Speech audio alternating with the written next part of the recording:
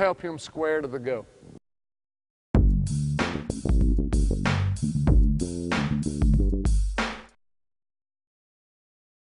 Consider the same situation as before, but the defenders are too tall for you to throw over.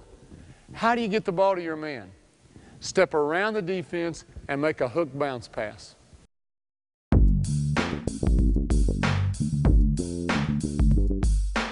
When your teammate is cutting towards the wing to get open and his defender's arm is in the passing lane, you need to look for your teammate to make a backdoor cut.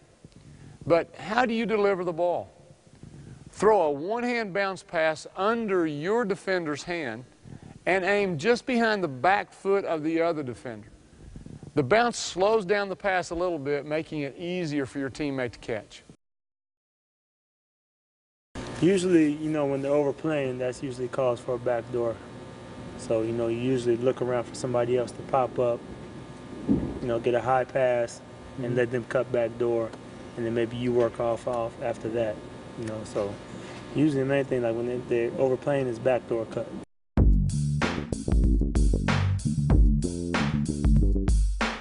What if you're being pressured and you spot an open teammate on the other side of the floor? You have to get the ball over your defender, over the rest of the defenders in the middle of the lane, and you have to get it there fast and with accuracy so that he can catch and shoot before the help defense recovers. That's a lot to ask. How do you do it? with both hands on the ball, using a cross the face skip. Come off of the ground and release the ball as your feet clear the ground. Timing your release with your feet coming off the ground will give you extra power and make for a quicker pass. Using both hands will increase your accuracy.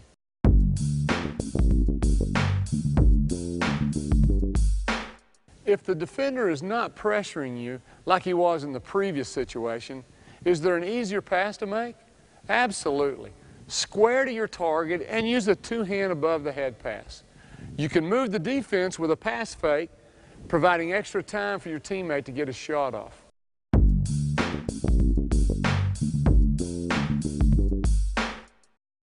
When no defenders are pressuring you and you're looking for a safe way to catch a pass and quickly swing the ball around the perimeter, what pass do you use?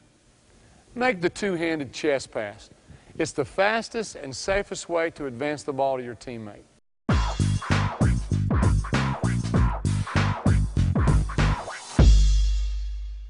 Uh, Mike, I know that uh, passing opportunities are created when uh, you dribble penetrate, and I just wanted to hear your thoughts on that. I think my um, the best aspect of my game is getting other people involved. You know, I'd rather see somebody make a shot you know, off of my pass than have me score myself. So um, that's what I try to do. I try to break the defense down because once you get in the key and break down the defense, the first thing the other defensive players are going to do is turn their head and see what's going on. So, you know, once you get in there and they think you're going to shoot, their heads go up, you know, kind of relax a little bit, wait for the rebound. And that's when the other people open up on the perimeter. Mm. So when you're going, when you're penetrating, you're penetrating – legitimately to score. Yeah. First to. I just, I mean, a lot of it is reading the defense. You know, I mean, if a big guy comes over, that means that his man is probably open, unless they have good rotation, and that means the outside guy's open. So you know, you just got to go up and and I think my eyes are quick enough to see what's going on and, you know, just read, read what the defense is giving me. Are, are you aware of different rotations uh, by different teams? I know that some teams have different rotating defensive patterns, you know, mm-hmm. but they know they've got to stop you in penetration and and you're aware where the help's going to come from, and they have guys rotating. Are, are, are... A lot, a lot of times, you wouldn't think, but in the pros, a lot of people miss assignments. You know, um, say a big man comes over to stop me from penetrating, one of the guys has to rotate down to the big guy. Usually, sometimes they don't.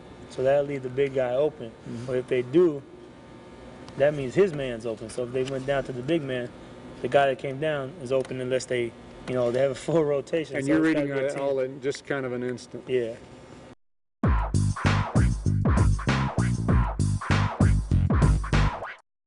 An east-west dribble penetration will not necessarily draw help defenders. But if your penetration is an honest attempt to score, you will draw a perimeter defender to yourself.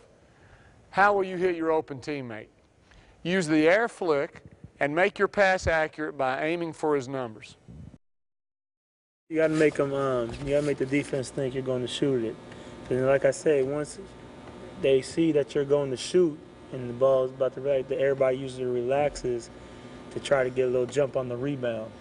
And then once you do that, and then they relax and try to they turn, you know, look around for the man to box out or something.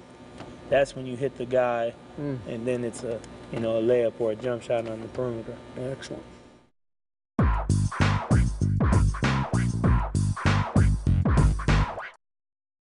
If your dribble penetration leads you into heavy traffic, remember there's a hole behind you, a spot to throw back to if a teammate will fill it. Be strong with the ball to avoid getting stripped and reverse pivot to seal the help defender from recovering. What pass do you use to hit the shooter? Your hands are already in position to utilize the two-hand chest pass to throw back where you came from. It's secure, accurate, and quick.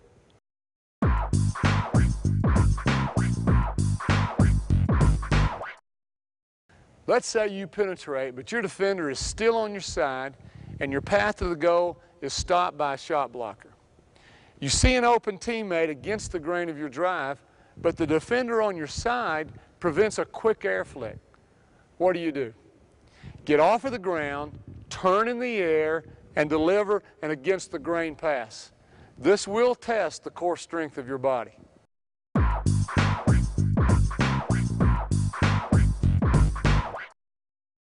When you penetrate and draw a defender from a post player, what's the best pass to choose with the least chance of being deflected?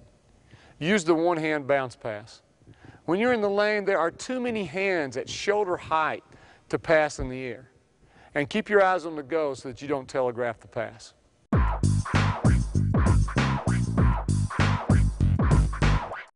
Be aware of other help defenders rotating down.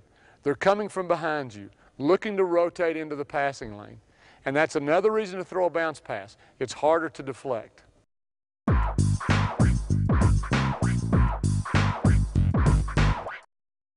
You've penetrated and attracted a shot blocker who is body to body with you. There's no space to bring the ball across your body and pass to your open teammate. What can you do? You have to go around your back.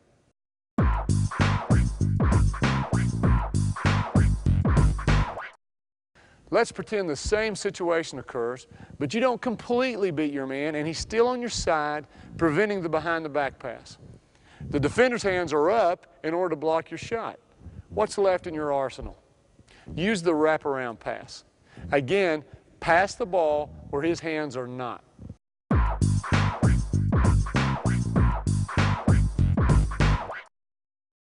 If you penetrate along the baseline with a teammate at the low post, you're going to draw his defender who's a threat to block your shot or take the charge. Your teammate should be stepping up the lane line to create some space so that his defender can't play both of you. You have to pass over the post defender without letting your man deflect the pass. So how do you get the ball to your post man? Use a skyhook pass. It's easy for post men to catch and shoot because it's soft and caught up high.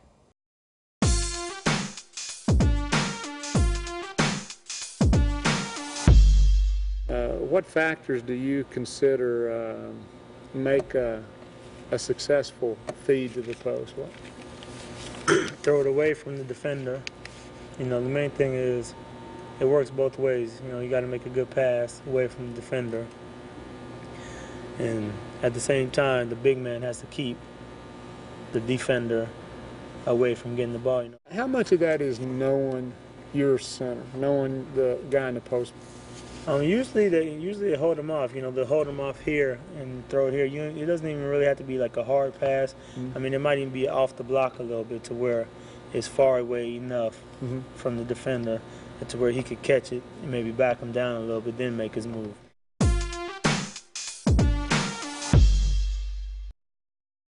Let's pretend you're feeding the low post and the post defender has been caught directly behind him, an opening that won't last for long.